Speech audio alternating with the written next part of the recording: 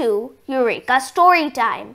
And today's story is Prince Fly Guy by Tedd Arnold. Prince Fly Guy A boy had a pet fly.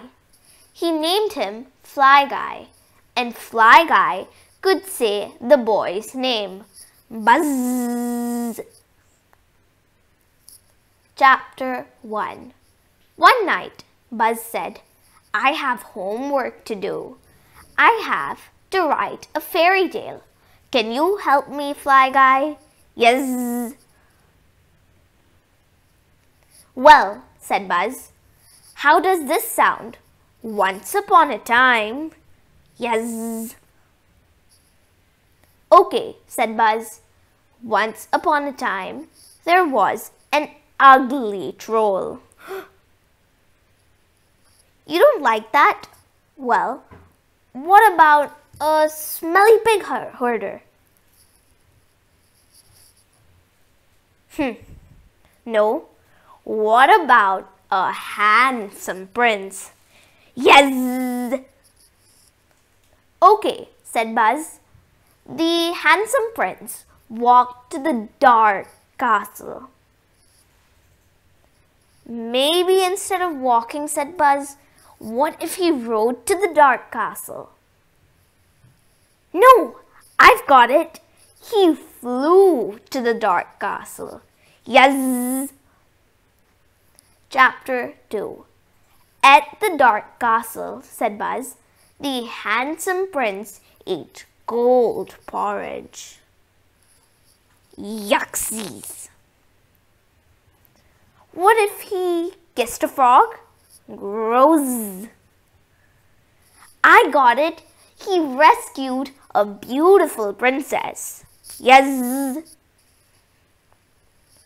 But a giant lived in the dark castle. Yikesies!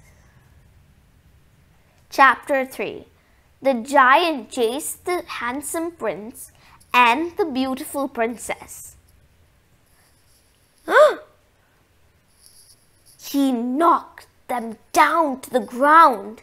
Swat! The princess threw her crown. it hit the giant on the nose. Wink! Yes! The giant fell down. Oh, yes! Ouch! Ouch! Ouch! Ouch! He ran away. The prince and the princess flew home. They made matching crowns. Nice. And they lived happily ever after. Aww. The end, said Buzz.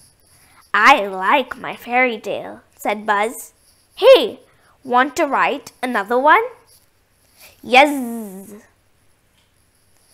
Okay, once there was a hairy dwarf. Hmm. The end. Thank you for joining us as we read this book. Until next time, bye!